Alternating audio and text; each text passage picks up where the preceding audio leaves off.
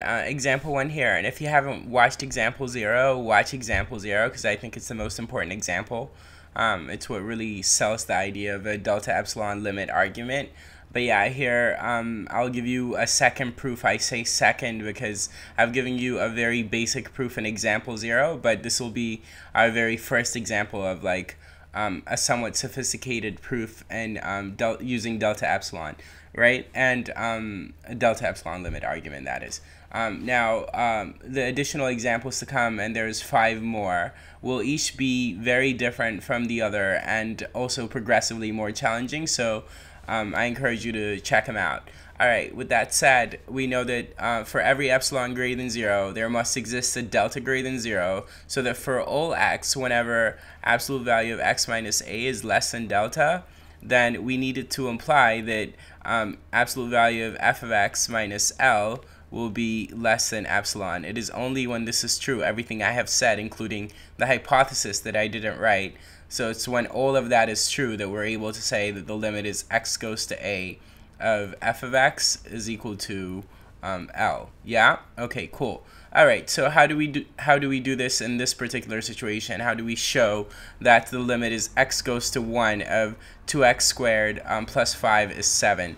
Well, we see that immediately um, a is uh, 1 and then L is 7 and that f of x is 2x squared plus 5. So we can just start with this statement and then followed by that statement because those will have to follow right each other and so then uh, we could start the proof by just writing those two uh, statements so the proof uh, goes like this which is we say absolute value of x minus 1 is less than delta we need to imply automatically that um, f of x which in our case is 2x squared plus 5 minus L, so minus 7, be less than epsilon. Now, um, as you've seen in example 0, um, the task to um, you know get this automatic implication from here to here is to create a relationship between delta and epsilon. And in the creation of that relationship, what you'll be concerned with um, often, if not always, is manipulating the second statement. So um, next, you can write this second statement as follows which is that you can write that you have 2x squared minus 2 an absolute value is less than epsilon. And next, um, after that, you can write that you have, um, you can take out the 2 from the absolute value and write x squared um, minus 1 is less than epsilon. And then thereafter, we can write 2 times uh, absolute value of x um, minus 1 times x plus 1 is less than epsilon. Now we observe this uh, fact about absolute values, which is the absolute value of a times b is equal to the absolute value of a times the absolute value of b. So because of that, we can write the following statement uh, that follows this, uh, logically follows it, uh, which is that we've got 2 times absolute value of x minus 1 um, times absolute value of x plus 1. Um, is less than epsilon. And we were really happy when we saw this absolute value of x minus 1 because it's involved in the delta statement. So we want to involve it in the epsilon statement. In particular, in our next step, we're going to solve for it and um, write that we've got absolute value of x minus 1 is less than epsilon divided by 2 times absolute value of x plus 1.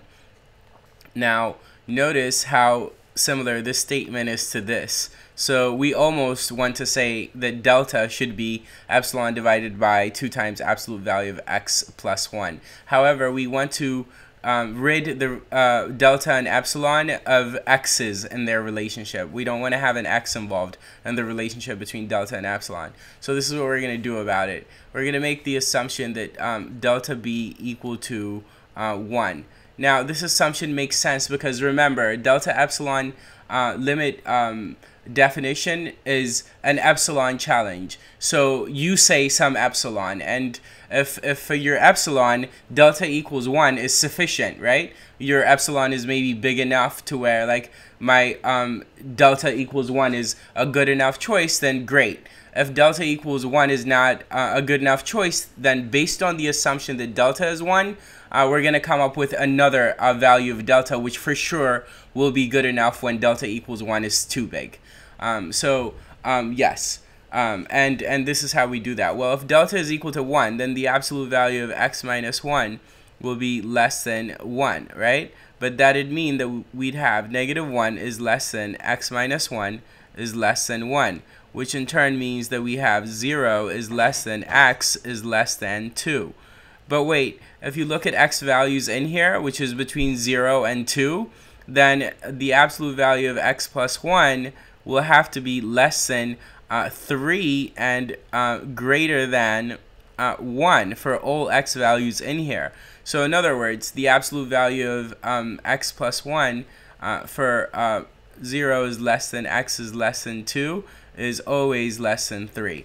Okay, cool. That's very useful because then we could say, hey, like um, from here, go to the following statement, which is that the absolute value of um, x minus 1 be less than epsilon divided by 2 times 3, which is 6. So epsilon divided by 6. So here we are. Um, we found when delta equals 1 doesn't work, we found a delta that, that'll work, which is epsilon divided by 6. Yeah? Cool. All right. So now um, we're done with our delta epsilon proof because we're going to say choose um, we're going to say choose delta to equal the minimum of um, 1 and um, epsilon over 6. Like I've already said, if 1 is good enough for your choice of epsilon, great. But if 1 is too big, epsilon over 6 will be um, small and as small as you like um, as you choose smaller and smaller epsilons. Obviously, if your epsilon is really big, delta equals 1 would work, and epsilon over 6 would be too big, right? Okay, cool. And that's basically what we're saying. And um, instead of delta equals 1, you could have started with the assumption that delta is equal to 10, but I chose 1 for the same reason I chose um, a to be 1, which is it's computationally easy. Um, yeah? Okay, cool. All right. Otherwise, all I have left to do is to check that we have found the correct delta, right? Or better yet, the correct delta epsilon relationship, yeah? Okay, cool. To do that check, then what I'm going to do is I'm going to delete what we have up here. Um, and um, I'm going to do the check for you. So um, there's a spot that's bothering me. So um, and this guy was in the way, which is why I didn't see it right there. Okay, cool. All right, so the check goes like this. Um, we go, all right, um, check. So to check, I have um, that um, if the absolute value, or we need to have that if the absolute value of x minus 1 is less than delta, we need to have automatically following the absolute value of 2x squared plus 5 minus 7 be less than epsilon. But wait, the absolute value of x minus 1 is less than delta means the absolute value of x minus 1 is less than um, epsilon over 6 because um, we chose delta to be epsilon over 6. Well, that'd mean that um, 6 times the absolute value of x minus 1 uh, is less than epsilon. But then that'd mean that uh, we have um, um, 2 times, well, let me do the implies arrow. So we have 2 times 3 times absolute value of x minus 1 is less than epsilon. But wait, we know that absolute value of x plus 1 is less than 3. So if this is true, then the following is automatically true, which is 2 times absolute value of x plus 1 times um, absolute value of x minus 1 um, is less than epsilon. Notice from here to here, the only thing that changed is I replaced the 3 with something that's smaller than 3. And therefore, if this is uh, less than epsilon, then this 2 needs to be less than epsilon, yeah? Cool. But then now I'm going to use this rule in reverse and write that I have 2 times absolute value of um, x plus 1 times x minus 1 is less than um, epsilon.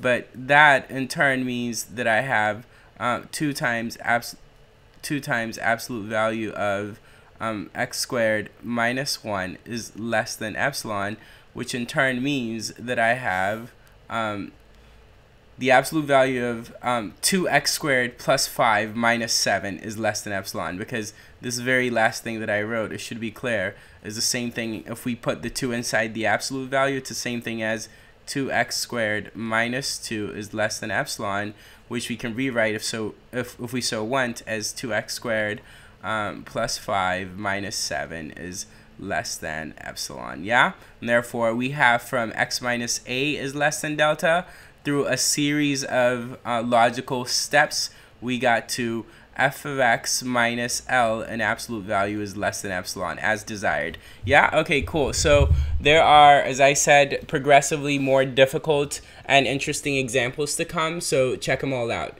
Take care.